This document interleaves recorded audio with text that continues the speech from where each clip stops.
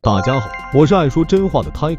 去年二月，OPPO 推出了全新影像旗舰手机 OPPO Find X5 系列。该机不仅带来了极具辨识度的外观设计，而且在影像方面也极为出众，受到了不少用户的好评。随着时间进入二零二三年，其迭代产品 OPPO Find X6 系列也即将要发布了。近日，网上出现了 OPPO Find X6 系列的渲染图，结合之前的爆料来看，该图和真机的接近度应该还是相当高的。话不多说，跟 Tiger 一起来先睹为快。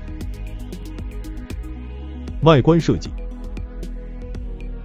从博主冰宇宙公布的渲染图来看，全新的 OPPO Find X6 系列的机身背部似乎采用了两种材质组成，上半部分疑似采用的玻璃材质，而下半部分则为素皮材质，并且上下的配色也不同。此外，该机的后置相机模组采用了时下流行的奥利奥造型设计，内部安置三颗摄像头，其中有一颗为潜望式长焦，位于整个模组的左下方。潜望式长焦镜头在 Find X6 系列上回归，弥补了 Find X5 系列的遗憾。同时，在模组中央还印有 Hasselblad 的字样，表明新机将继续和哈苏进行合作，影像表现值得期待。估计细心的小伙伴也发现了，前面提到的渲染图的后壳材质是上下两种材质拼接而成的，显然这也是高配机型才有的外观。那么标准版又长啥样呢？这不，标准版渲染图也来了。从曝光的渲染图可以看到，标准版的 OPPO Find X6 和素皮拼接版的保持一致，不过后壳的材质更换为了 AG 玻璃材质。从尊享程度来看，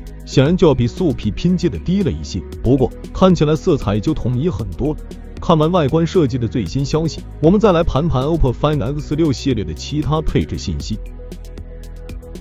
核心配置，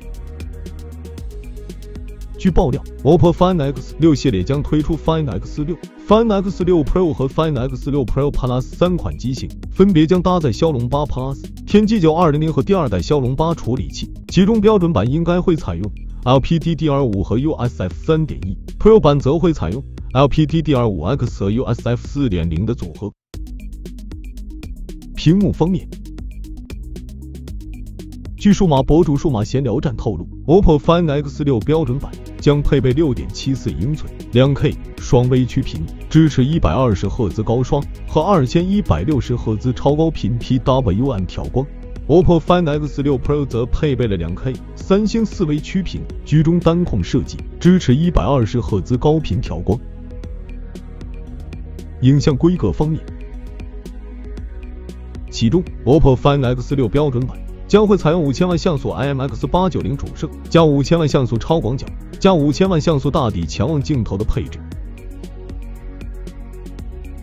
OPPO Find X6 Pro 则将会后置五千万像素主摄加五千万像素超广角加五千万像素长焦的三摄组合，主摄搭载的是 IMX 九八九传感器，具有一英寸超大底。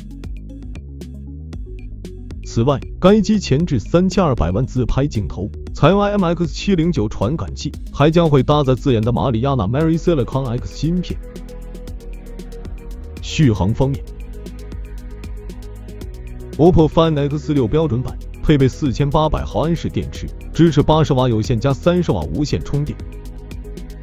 OPPO Find X6 Pro 配备五千毫安时电池，支持一百瓦有线加五十瓦无线充电。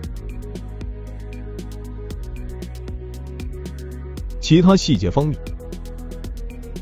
，OPPO Find X6 系列三款机型都配备了超薄屏下指纹、X 轴线性马达、NFC 对称式双扬声器，配置可以说是相当出色和均衡。发布时间上，据悉全新的 OPPO Find X6 系列有望在二零二三年二月底到三月期间发布。除了强悍的性能，影像也将是该机最大的卖点。不过，由于发布时间相对其他旗舰新机晚了一些，所以重要的就是价格了。那么问题来了，你对 OPPO Find X6 系列升级满意吗？如果价位和上代接近，你认为在今年的市场环境中具备竞争力吗？欢迎评论区告诉我你的答案。想了解更多数码资讯，记得关注我们的频道。我们下期再见。